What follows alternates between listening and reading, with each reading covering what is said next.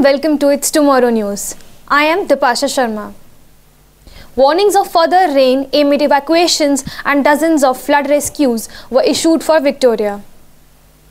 Residents in northeastern Victoria are bracing for further flooding in the coming days after heavy rainfall inundated the state and forced two towns to evacuate. An evacuation order was issued for parts of the Goulburn Valley town of Seymour in central Victoria shortly before noon on Monday, before similar orders were put in place for sections of nearby Yea. An emergency evacuation order was issued for the northern Victorian town of Rochester on Monday evening. About 30 homes in Goornong, about 30 km northeast of Bendigo, and 6 homes in Redesdale have been evacuated after water inundated the properties.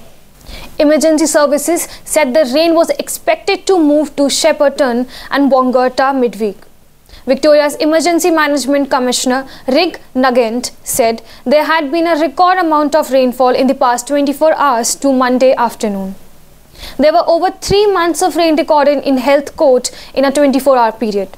He said emergency services rescued 38 people affected by the flooding, including some whose homes were inundated but most people were attempting to drive through floodwaters. The Chief Officer of Operations at the Victorian State Emergency Service urged people not to drive through floodwaters. Volunteers had responded to more than 1200 calls for help since 7 am on Sunday. Relief centers have been set up in Bendigo, Seymour and Yea and one will be set up in Echuca. Flash flooding occurred in the state's southwest while more than 180 mm of rain was recorded in the central Victoria towns of Heathcote and Redesdale. An emergency cabinet meeting had also been scheduled for Monday night to help plan the next phase of the flood response. The persistent rain continued to defy predictions of a dry El Nino summer, with downpours that began late on Saturday and ramped up through Sunday into Monday morning. There were 920 calls for assistance to the state emergency service in 24 hours due to flooding, fallen trees and building damage.